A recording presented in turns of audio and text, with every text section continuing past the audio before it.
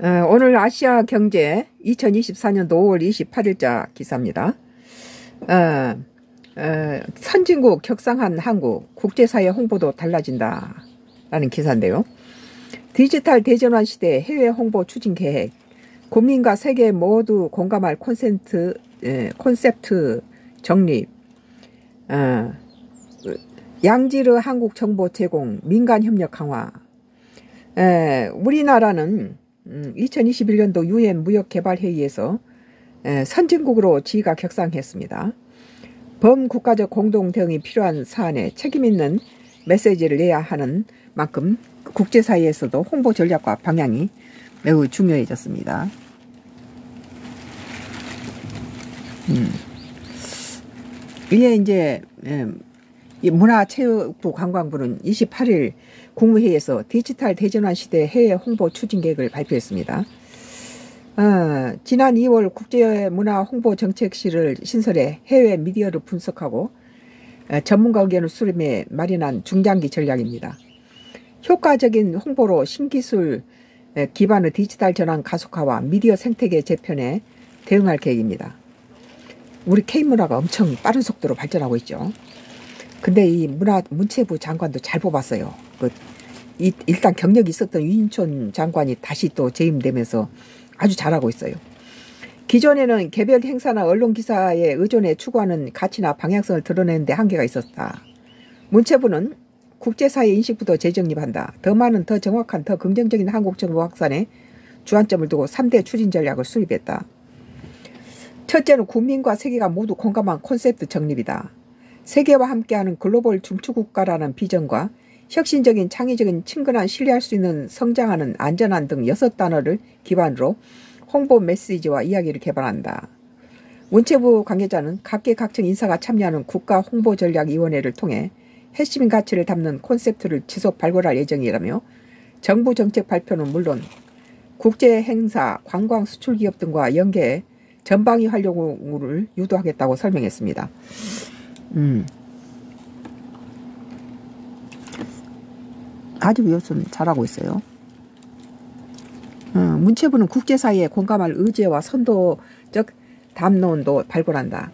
의제 분석 범위를 외신뿐 아니라 해외 연구소, 국제기구, 사회관계망 서비스 등으로 유통되는 자료를 확대하고 국제사회의 전반적 관심과 현안을 파악한다.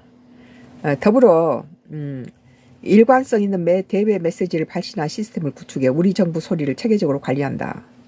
둘째는 양질의 한국 정보 제공이다.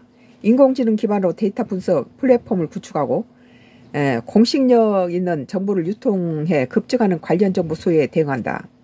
대량의 데이터 분석을 자동화하고 한국에 대한 국제사회 인식을 객관적으로 파악해 맞춤형 분석 보고서를 제작한다.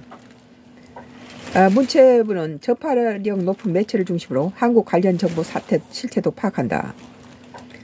영문 위키피디아를 비롯해서 외국 정부와 국제기구 공식 누리집, 여행 안내서 및 관광 웹사이트, 교과서 등이다.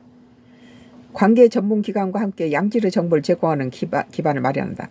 우리나라 옛날 오래된 것들이 세계에 돌아다니고 있는 것보다 그 이런 것들이 정립해야 되겠죠. 늦은 감은 있지만. 음. 셋째는 시민 전문가, 주한 외국인 등 민간과의 협력이다. 국제적 협력, 영향력이 있는 인플루언서와 대한 언론으로 기능하는 디지털 전문 매체 등의 행사 초청, 정보 제공, 취재 등을 지원한다. 전통적 소통 대상인 외교단, 외신을 비롯해 결혼 이민자, 이주 노동자, 유학생, 상사 주재원 등 한국을 가까이 경험하는 주한 외국인과 해외, 해외 홍보 연계망도 구축한다. 한국 생활 지침서 등 수요자 맞춤형 한국 정보 콘텐츠 공동 제작을 할 방침이다. 윤천 문제, 문체부 장관은 이번 추진 정량으로 한국이 글로벌 중추국가로서 위상을 확립하고 세계와 함께하는 성장하는 중심축이 되기를 바란다고 말했습니다. 음, 에, 나의 정치적 코멘트는 에, 우리나라가 2021년도 어, 유엔 무역개발 회의에서 선진국으로 지위가 격상했다는 걸 이제 알았습니다.